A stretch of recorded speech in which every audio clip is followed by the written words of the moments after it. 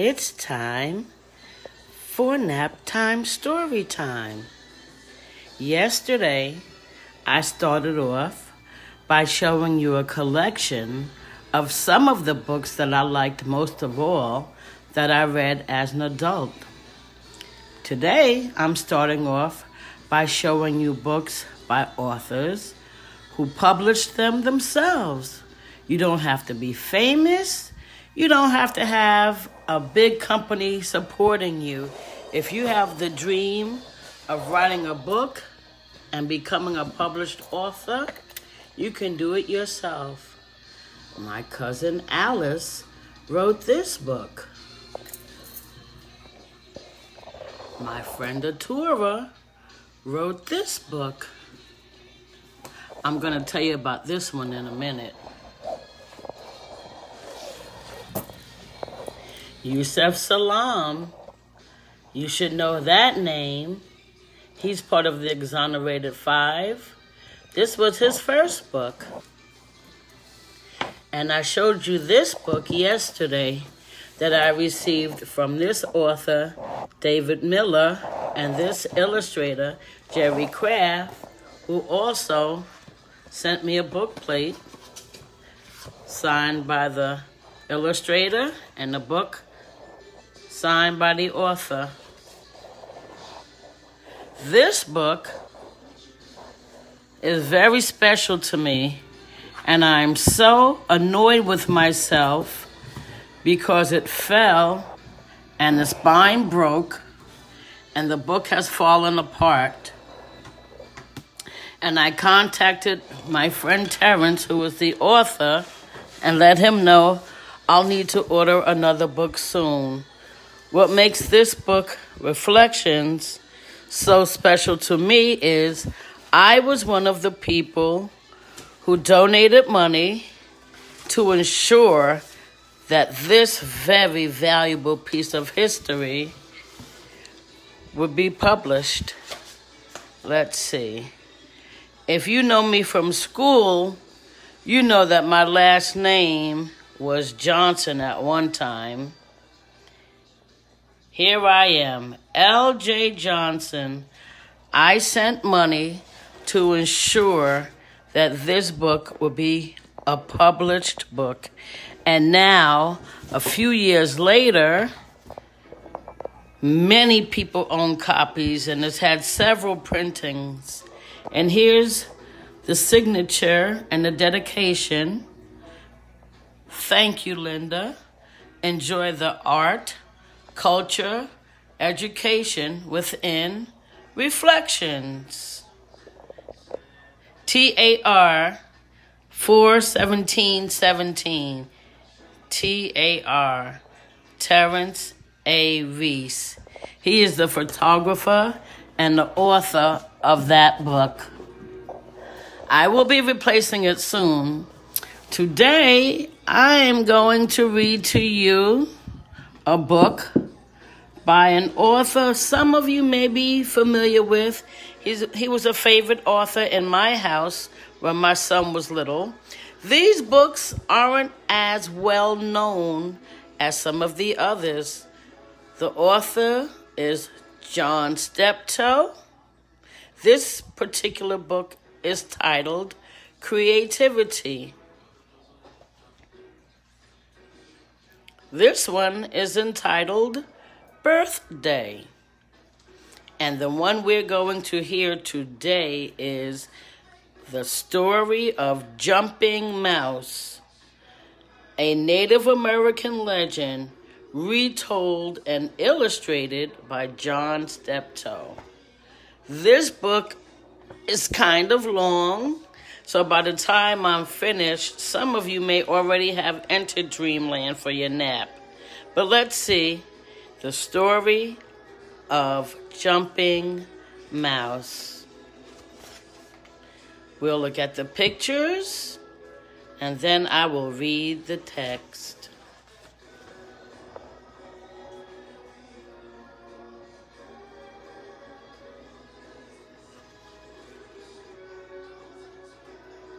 This story was written in 1972. Once there was a young mouse who lived in the bush, who lived in the brush near a great river. During the day, he and the other mice hunted for food. At night, they gathered to hear the old ones tell stories.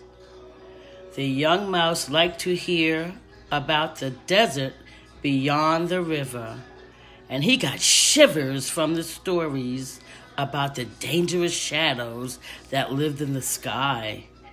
But his favorite was the tale of the far off land.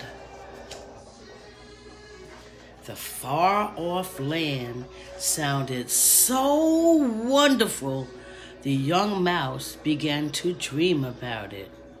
He knew he would never be content until he had been there. The old ones warned that the journey would be long and perilous. But the young mouse would not be swayed. He set off one morning before the sun had risen.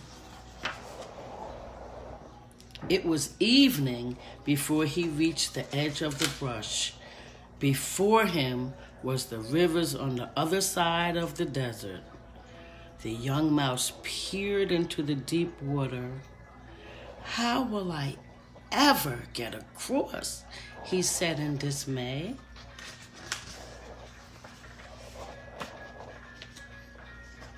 Don't you know how to swim? called a gravelly voice.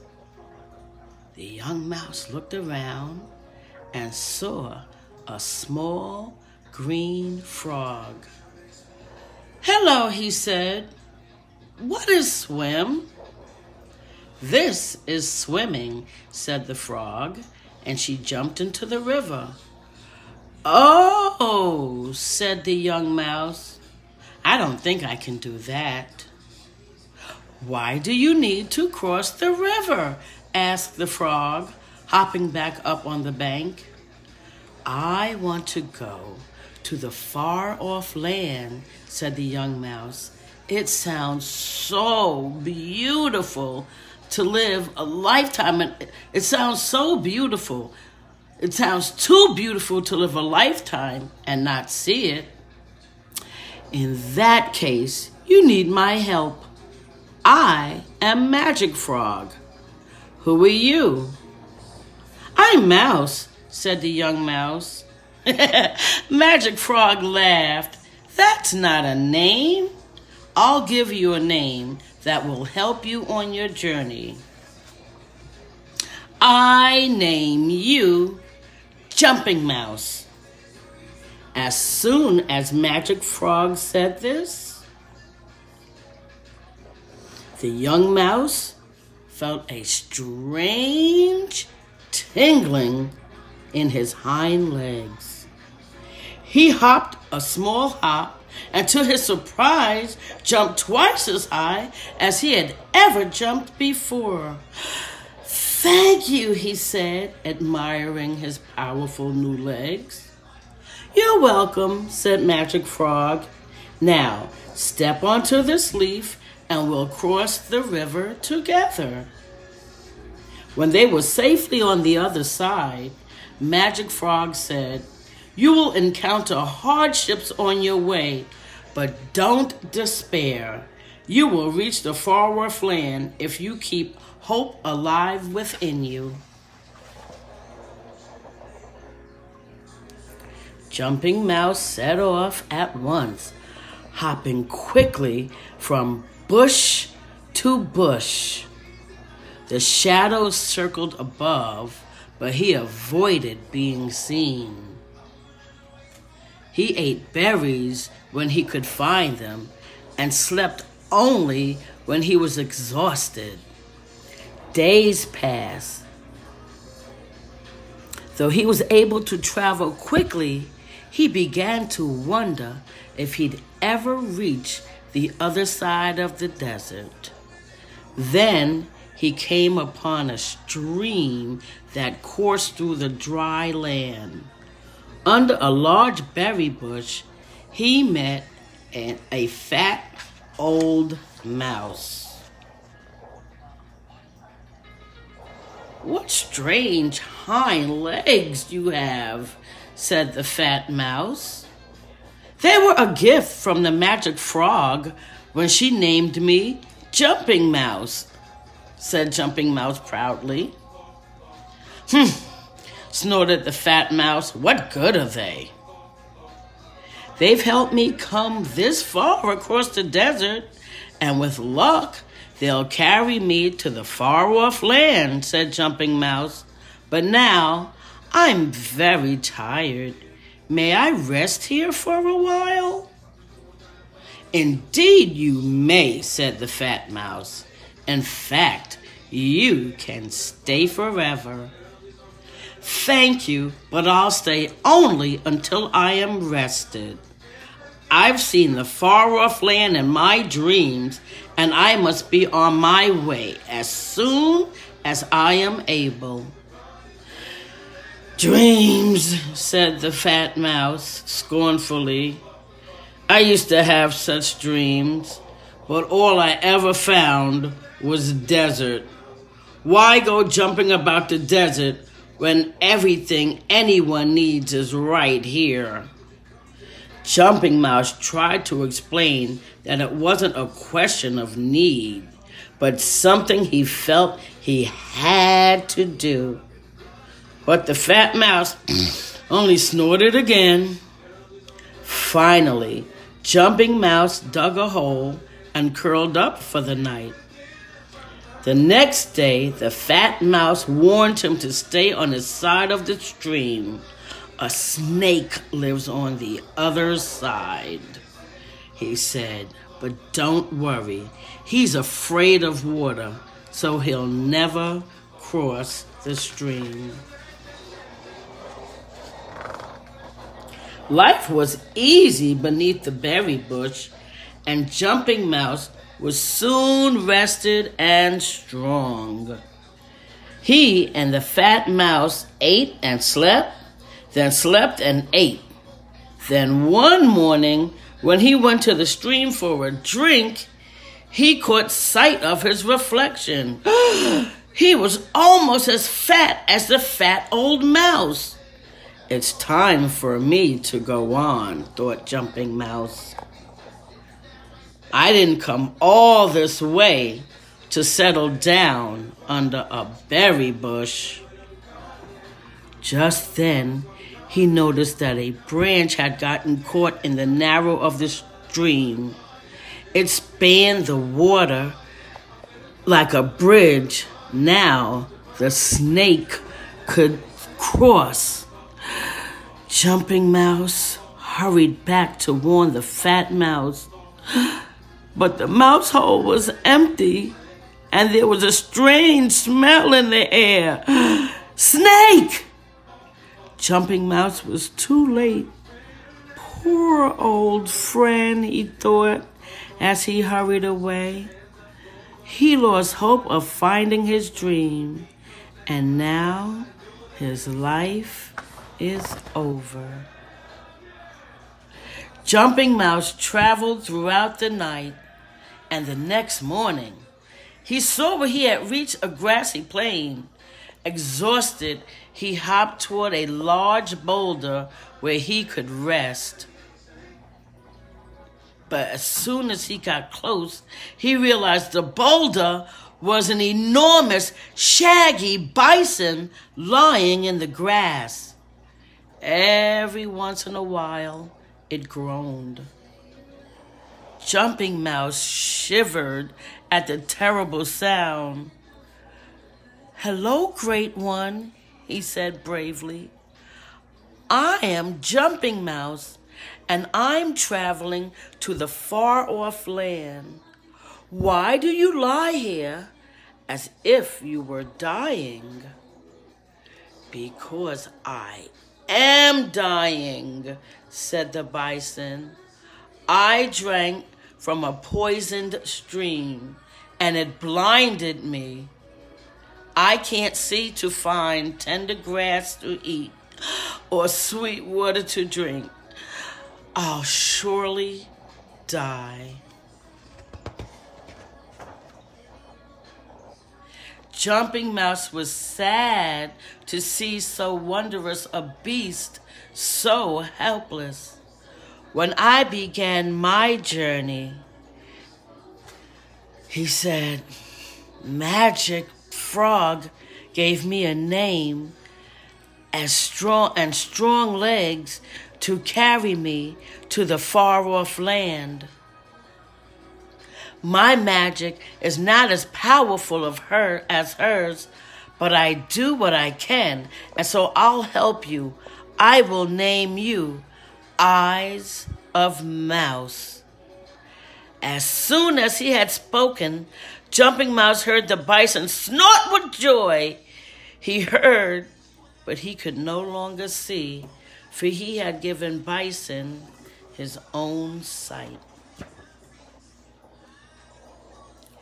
Thank you, said Eyes of Mouse. You are small, but you have done a great thing. If you will hop along beneath me, the shadows of the sky won't see you, and I will guide you to the mountains. Jumping Mouse did as he was told. He hopped to the rhythm of the bison's hooves, and in this way he reached the foot of the mountains. I am an animal of the plains, so I must stop here, said Eyes of Mouse. How will you cross the mountains if you can't see? There will be a way, said Jumping Mouse. Hope is alive within me. He said goodbye to his friend, then he dug a hole and went to sleep. The next morning, Jumping Mouse woke to cool breezes that blew down from the mountain's peaks.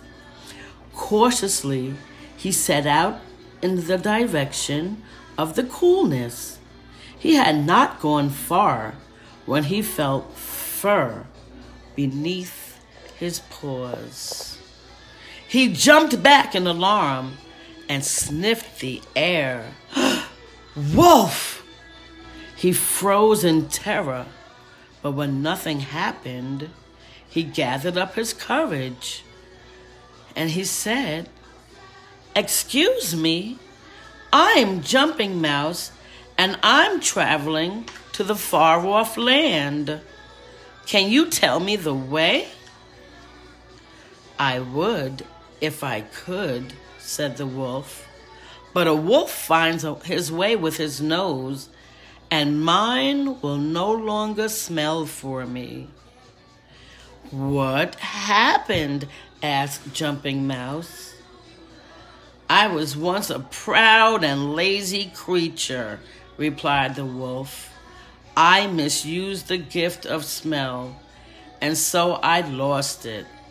I have learned not to be proud but without my nose to tell me where I am and where I am going, I cannot survive.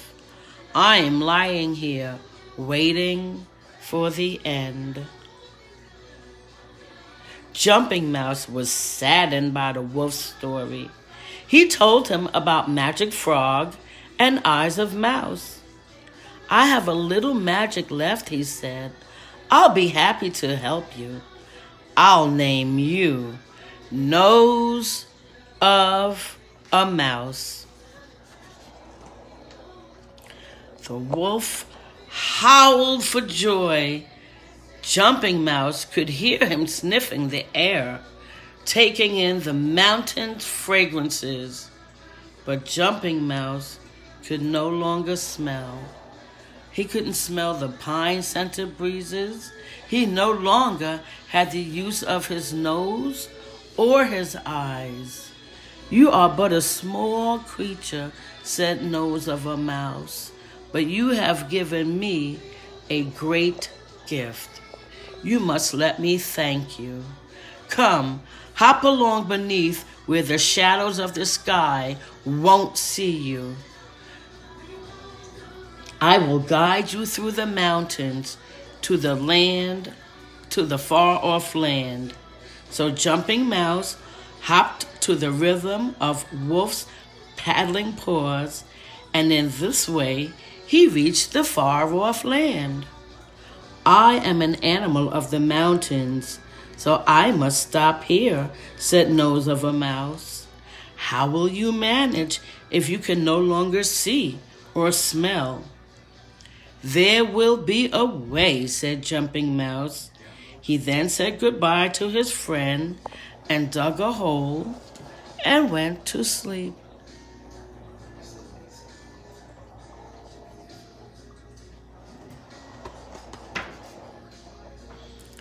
The next morning, Jumping Mouse woke up and crawled from his hole.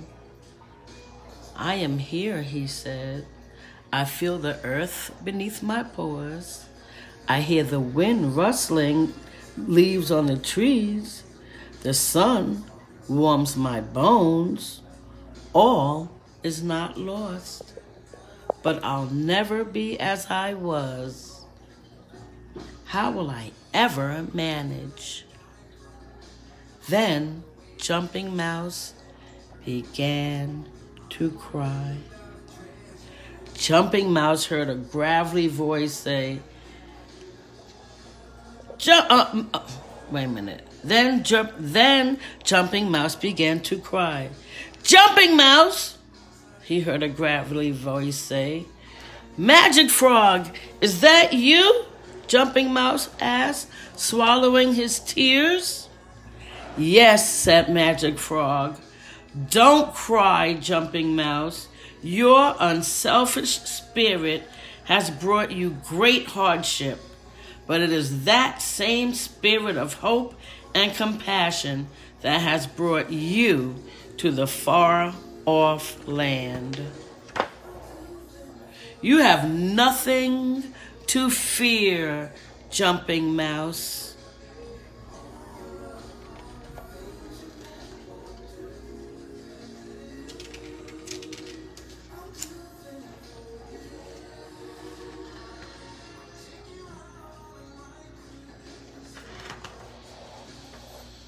Jump high, jumping mouse, commanded Magic Frog.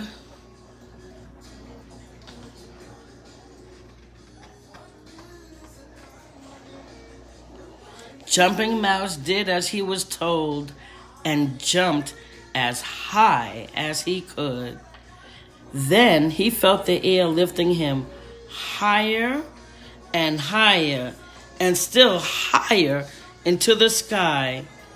He stretched out his paws in the sun and felt strangely powerful. To his joy, he began to see the wondrous beauty of the world above and below, and to smell the scent of earth and sky and living things. Jumping Mouse, he heard Magic Frog call, I give you a new name. You are now called Eagle. And you will live in the far off land forever. Wow, that was a great one. But it was long, and it's time for you to go take your nap.